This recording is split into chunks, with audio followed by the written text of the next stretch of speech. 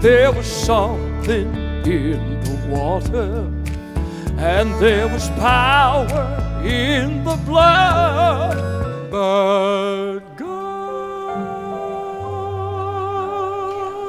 sees a way when miracles are well beyond our view.